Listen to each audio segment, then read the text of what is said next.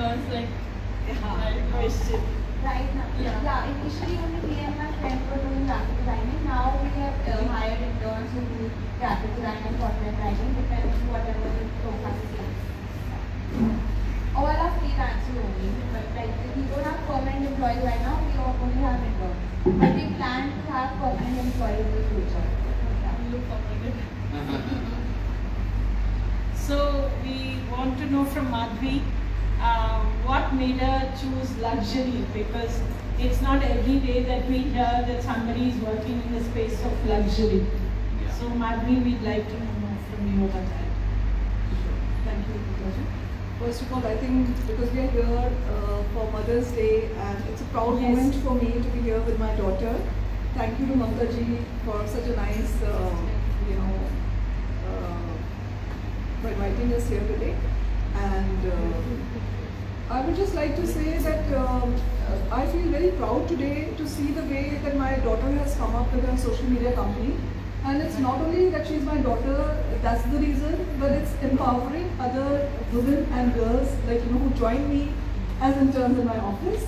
And uh, they were fortunate to get Padma Shri artist Krishna Kanhaiji on board to do their social media, Aarti Zaveri to do her social media, uh, and uh, Kiran Sharma ji, who's, uh, who used to groom exhibitions.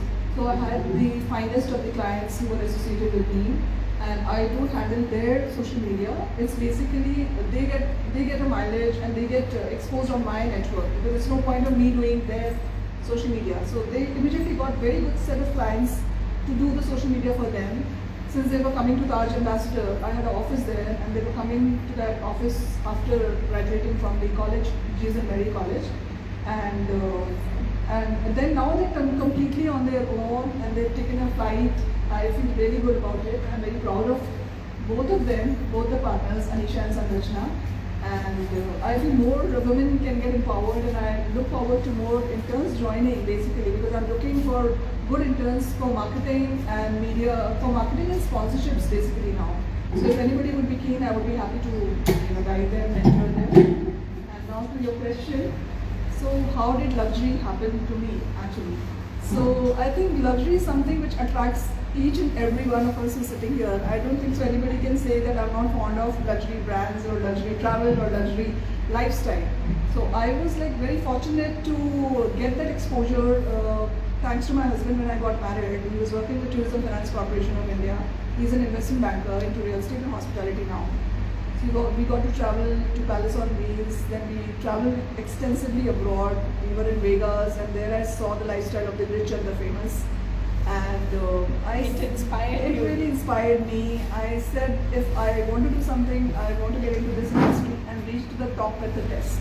And I was fortunate that whatever I desired uh, and whatever I dreamt about, I was able to uh, do that because I happened to be on board with the top-notch clients from our country as well as internationally. I have the celebrity wedding designer Angelo Garini from Italy on brand uh, on board with me. Then, if we talk about real estate, I've been on board with top six real estate companies in the country. I started with Ambience Group, Trump Towers, ATS Knightsbridge, Ram Ratan Group, and uh, also other other real estate groups. And uh, in the hospitality, I've consulted uh, Taj Ambassador for a good long time.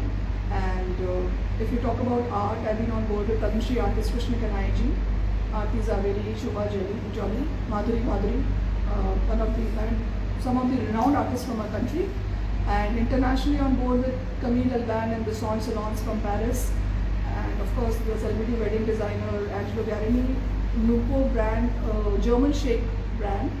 So all these are been some of the international clients and I look forward to going more global and now I'm known more as a global luxury brand consultant.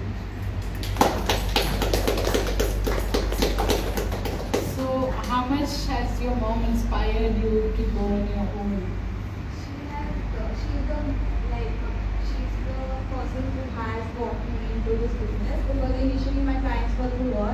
My first five clients were through her. Now we have different clientele completely. But she has only taught me like when we used to go to Taj Rwanda. So I saw her how she cracks a deal with a client. So that's how in now we when we go to our clients, I know what to say to them to convince them to come on board with us. with us. And me and my friend saw her talk to all the lucky people around her and those, those people who used to come to her office and she used to tell them how she will help them uh, promote their brand on uh, like with other people and we, she will make them connect with the right clientele one-on-one and through events. So we saw her how she is communicating with people and that's how we also became confident enough to crack a client right now. So she has motivated both of us in this business. So, uh, you would say a parent or a mentor or a coach is really uh, important Yeah. and really helps you speed up your journey. Yeah, because we didn't know how to convince the client to come on board. We didn't know how to say the correct words and how to convince them to